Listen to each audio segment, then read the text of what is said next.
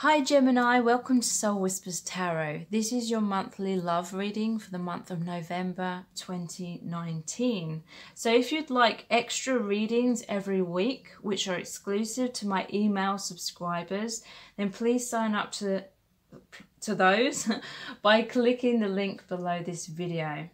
And also, please take advantage of my meditation deal, which I have going on right now and it's in the form of a meditation kit that I've created where it's three meditations for the price of two and I've named that kit the Manifest Your Soulmate Meditation Kit. So um, that kit is about manifesting your soulmate or your twin flame, basically whomever is for your highest good, whomever you're going to have a happy relationship with.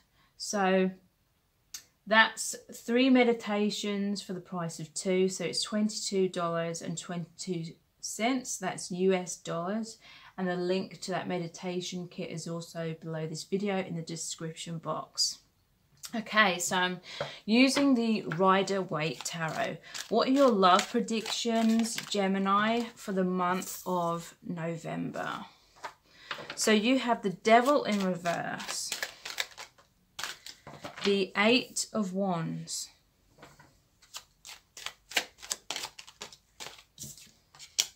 The Ace of Wands in reverse. The Queen of Cups.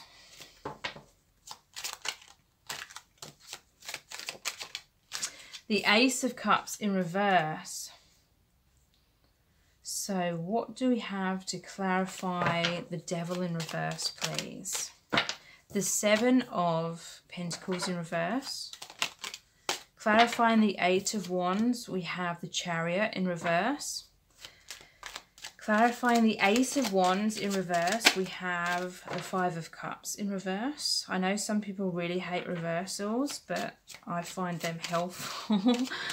the Queen of Cups in reverse. What's clarifying that, please? Strength in reverse.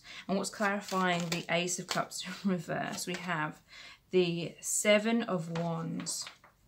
So at the bottom of the deck, we have the Five of Wands. Okay, so let me tune into the energies for a moment, please.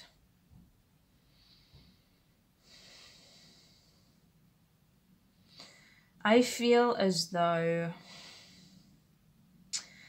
there's been someone that you've been holding on to. There's been a lot of energy within this connection. It could be somewhere where there's been this really intense magnetic attraction, but the devil in reverse. It's saying for some of you, you're releasing that person because they're not serving you. For others, this is a connection where there's just some elements that are a bit dysfunctional that you're releasing. Like some of you may have been investing in certain things, certain thought patterns, certain behaviors, certain ways of communicating or miscommunication that was causing turbulence, difficulties. But for some of you, this is you literally releasing someone that's not serving you and there's a healing of that. Maybe you were investing so much in this relationship and you were you weren't taking time to step back and see the bigger picture and asking yourself um, important questions whether to keep investing in this, this relationship or to keep investing in certain dynamics that weren't helping your connection develop. So whatever this energy represents to you, it's releasing any shadow aspects of this relationship. It and by that I mean anything that's created a healthy dynamic. Um, maybe some of you you were giving more than you were receiving, so now you're taking the time to step back um, in order to create like re redress the balance in your connection. What's really interesting is we have the Eight of Wands clarified by the Chariot in reverse. So this is all about movement. This is rapid movement. This in reverse is like I would say it's still movement, but it's really imbalanced movement. This is an energy of trying to rush things. It could be an energy of trying to cut corners or burying your head in the sand about things that aren't serving you or aren't serving this connection. Um, but trying to rush ahead anyway. There may be a sexual element that you have, like a sexual dynamic, especially with the devil as well. Um, because the Ace of Wands is like the phallic card in the reverse position, especially as the devils come out as well. There could be like someone in this connection using sexuality as a way to keep you hooked on them. Or it could be you with them. I'm not judging anyone. I'm just saying what I'm picking up on. Um, there could be this fear of losing this person you may feel that they're not investing in you as much as you are in them or vice versa. There's a fear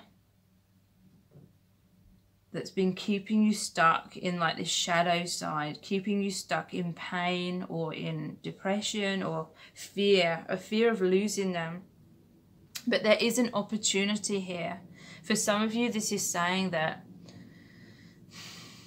if you do the inner healing work, if you love yourself, if you take a step back, then it will redress the balance. Because there could be clinginess going on, and the other person is energetically being repelled. Um, you know, none of this is personal, even though it feels extremely personal in the moment, in the experience.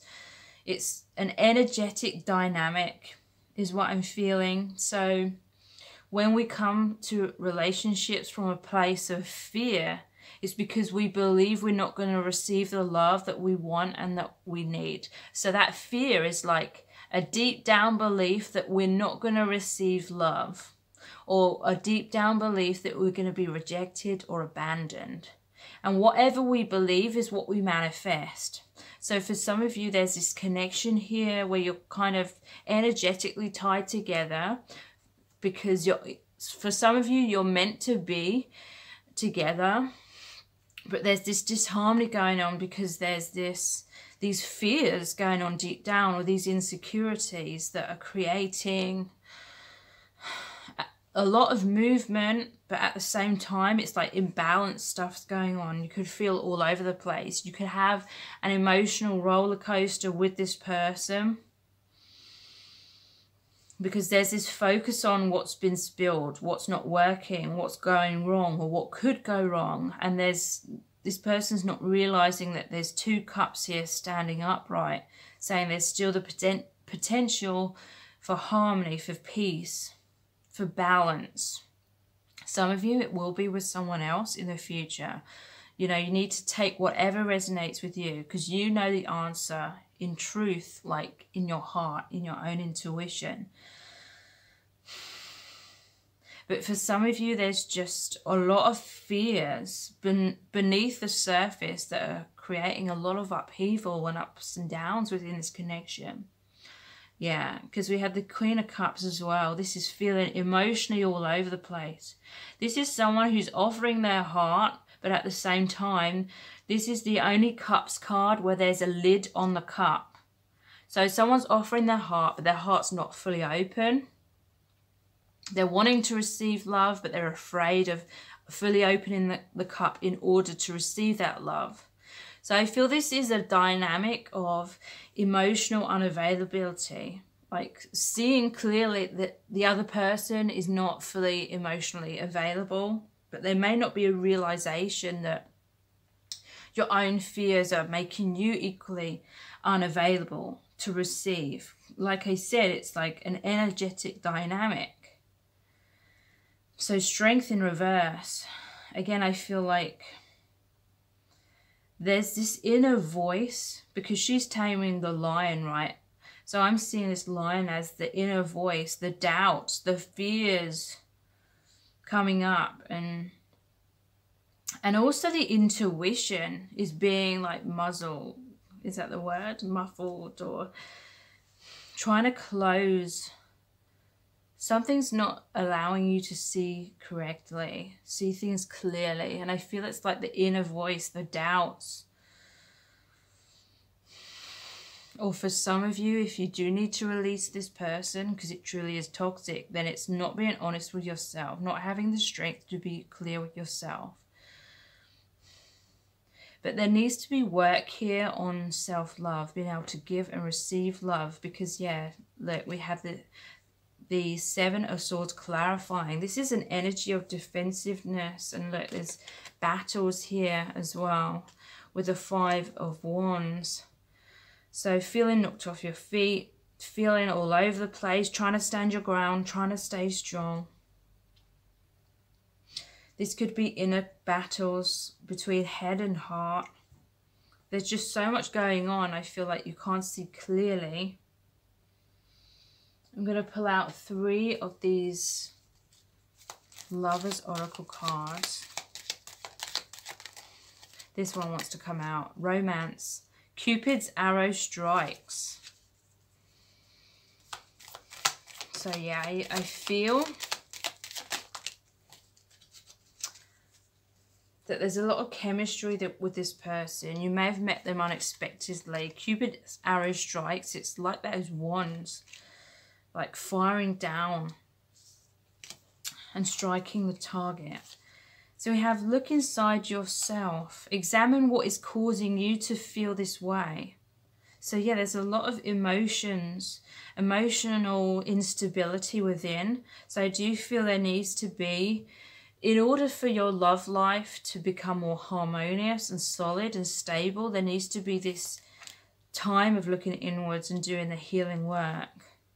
Through each other, this is called embrace, through each other you find the missing pieces.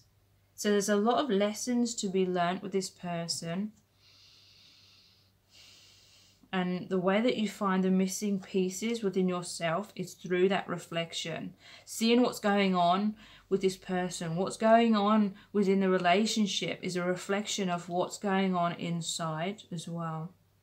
So if you would really like to create more stability within, more self-love, knowing your worth, healing past wounds of abandonment and rejection, which lead to that vibration of fear that keeps us stuck, then I really do recommend my Manifest Your Soulmate Meditation Kit. And again, that's three meditations for the price of two. That's $22.22 US dollars check that out.